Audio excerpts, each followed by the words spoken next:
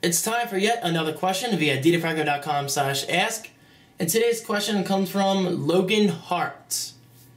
Now, I gotta be honest, I've never even read this question, so this is gonna be totally a natural of a response. I guess that's the best way of putting that.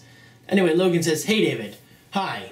He said hi again. Hi, I have a question regarding the Mac Mini. Currently, I'm saving money for a new computer, preferably a Mac. Good choice. I'm currently using a PC, and that would be my first Apple computer. Being the cheapest of all Macs, I was wondering if the Mac Mini that costs around $600 would be a good upgrade to a Dell Inspiron, well, good upgrade from, you should say, good upgrade from a Dell Inspiron with an Intel Pentium dual-core 2 GHz processor and 3 gigabytes of RAM. It's a mouthful. If it's not, what computer would you recommend? I don't want the most high-end stuff, and I'm fine with a laptop if that is what I must have.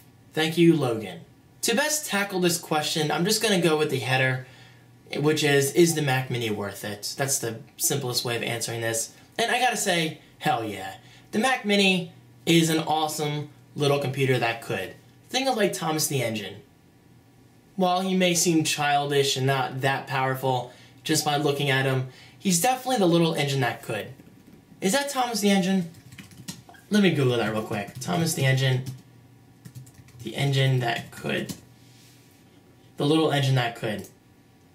Is.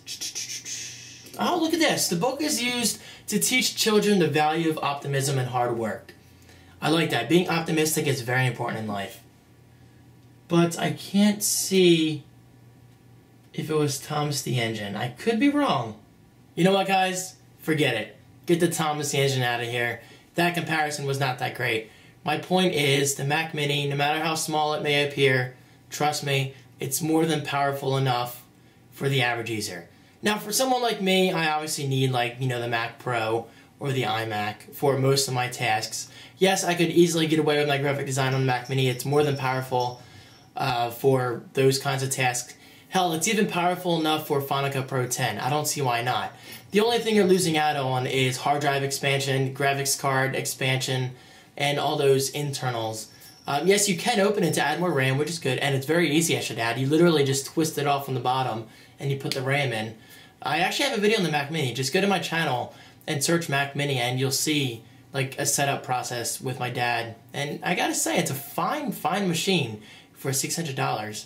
And now with all this jingling in the background, Smokey's going crazy when I say Mac Mini. That's how much he loves it. But yes, um, God, I forget your name. I'm so sorry. Logan, the Mac Mini is definitely worth it. Go for it. And I should say, since you're coming from a Dell Inspiron, that means you're used to Windows. So always keep in mind, the Mac Mini runs Windows perfectly. So in a way, you're buying two computers for one. So you'll be getting a great OS 10 experience, but as well as that familiar Windows XP Vista slash 7 experience. And speaking of Apple, today's free audiobook is iWoz. How I Invented the Personal Computer and Had Fun Along the Way. Now, as you may know, it's not just Steve Jobs who founded Apple. Um, the other co-founder is Steve Wozniak, better known as iWoz. Very cool guy.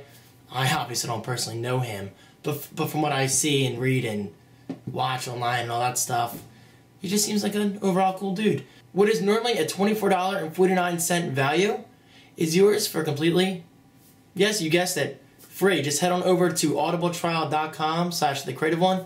Link is right below for your convenience. Click that, search this audiobook, and it's yours to keep forever. No, really, forever. Thank you guys so much for watching. If you guys want to ask your own question over at daviddifran.co slash ask, feel free to do so, and maybe, just maybe, I'll answer in a video such as this, and I will see you when? Yeah, that's right. In my next video.